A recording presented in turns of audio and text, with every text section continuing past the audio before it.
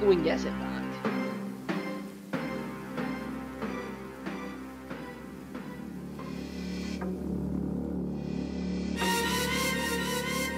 Ooh, Christopher, I am Oddbob. Oddbob. You're not Pennywise. Or is he? The It movie was a smash hit at the box office, but some may not know the story of It is older than you may think. First, there was the original novel, Followed by a TV miniseries. and 27 years later, it made it to the big screen.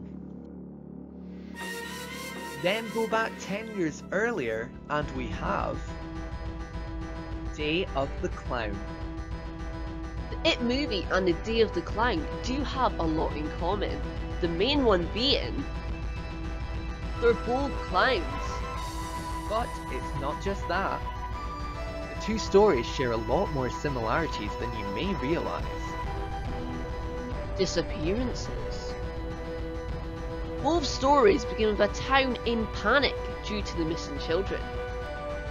And in both, they have some connection with the main characters. It, it's Georgie, And in D of the Clown, it's Clyde's friend Dave, aka the boy in the stationery cupboard. And not to mention Rani, the future companion of Sarah Jane, has been seeing visions of Oddbob for a while. balloons. Both of the main villains sport a crimson red balloon. In Pennywise's case, the balloon is used to scare you and is filled with. Hmm, and in Oddbob's case, it's used as a hypnosis device as shown when he takes control of the school. but that's not all. The imagery of a balloon is heavily focused on In both, worst fears. Both of these villains crave fear. Oddbob feeds off it, and Pennywise scares people because they taste better when they're scared. Oh! And both can change form in order to do so. Conclusion. Both the stories end in pretty much the same way.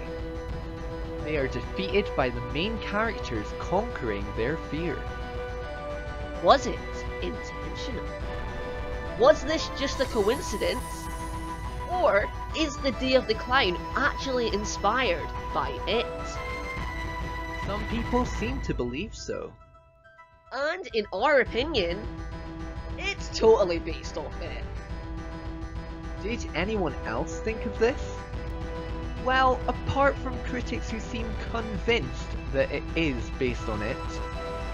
While making this video just a few days ago, we found a video of someone who discussed Pennywise and Oddbob actually being the exact same creature. But what do you think of all of this? Please let us know down below. Thank you for watching everyone, I've been Christopher, And I've been Lewis. and you've been Brilliant!